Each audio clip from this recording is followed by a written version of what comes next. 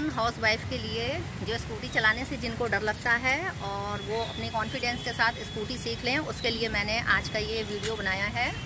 और सभी लोग इस वीडियो को देखें और इससे फ़ायदा उठाएँ और जो लोग डरते हैं और कॉन्फिडेंस जिनका कम है, उनके लिए वीडियो बहुत फ़ायदेमंद होने वाली है। तो प्लीज़ आप लोग वीडियो को फुल वॉच करना और मैं इसको चला के दिखाऊँगी स्कूटी को और उसको इंजॉय करना। ओके तो फ्रेंड्स, स्कूटी सीखने से पहले हम लोग जान लेते हैं स्कूटी के बारे में थोड़ा सा। तो जिस स्कूटी से आज मैं स्कूटी आपको सिखाने वाली हूँ तो मेरी स्कूटी है होंडा की ब्राजिया स्कूटी और काफ़ी ऊँची स्कूटी है ये, बाइक के बराबर ही रहती है। तो फ्रेंड्स, यहाँ पर हम लोग ऐसे चाबी लगाते हैं और इसे ऐसे ऑन कर देते हैं और जब ऑन हो जाती है चाबी तो यहाँ पर लाइट भी आती है और इधर है, ये एक्सीटर है। इसी से हमारी गाड़ी आगे चलती है और ये ब्रेक लगा है, ये ब्रेक आगे वाला है और इधर साइड में ये जो ब्रेक है, ये पीछे वाला ब्रेक है। हम लोगों को आगे का ब्रेक कम ही लगाना चाहिए, ज़्यादातर हम लोगों को बैक वाला ब्रेक ही इस्तेमाल करना चाहिए। और ये यहाँ पर है इंडिकेटर,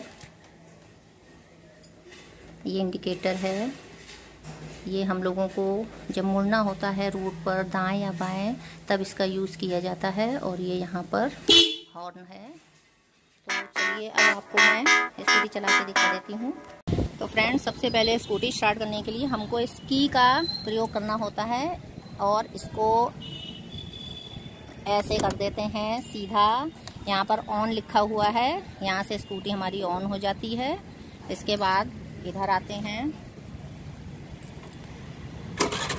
ये है स्टार्ट बटन यहाँ से स्कूटी स्टार्ट हो जाती है।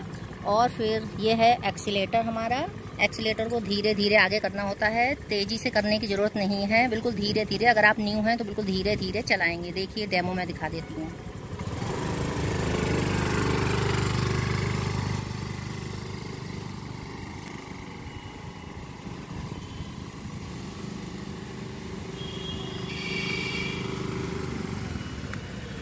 तरह से आप धीरे धीरे राउंड में चलाएँगे।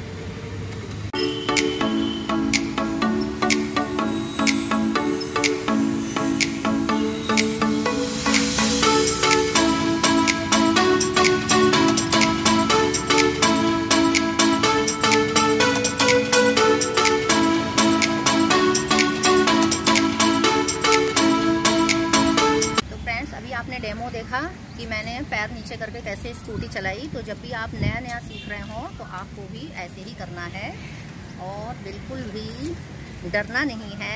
बिल्कुल कॉन्फिडेंस के साथ जब तक आपको बैलेंस बनाना नहीं आ रहा है, जब तक आप अपनी स्कूटी को ऐसे ही पैर नीचे करके स्टार्टिंग कर सकते हैं।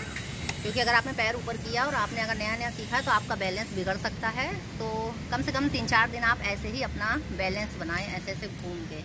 और जब आपको कॉन्फिडेंस आ जाए, उसके बाद आप पैर ऊपर करके अपनी स्कूटी को चला सकते हैं।